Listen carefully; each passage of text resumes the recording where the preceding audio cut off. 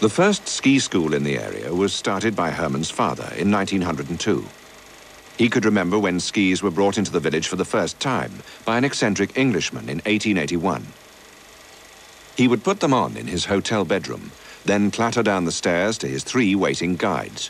One to point him in the right direction, another with a shovel to fill in the holes he made in the snow when he fell, and the third to brush the snow off his tweeds. By the turn of the century, skiers were a regular sight in the little town, most of them British. Herman himself started skiing at a very early age, on skis made from the staves of an old barrel. Later, he had them made specially for him by the local carpenter. When he was old enough, he became a ski instructor. This vintage film shows him with his ski class teaching techniques which are little different from those taught today. There were no quick-release bindings in those days, so an awkward fall often meant a broken ski.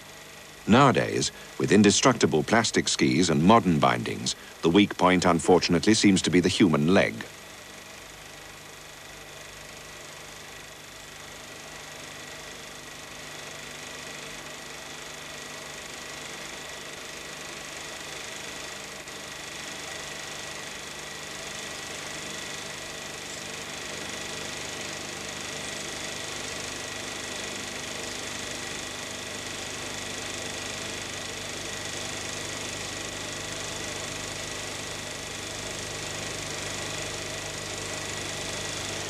For competition, it was necessary to be an all-rounder.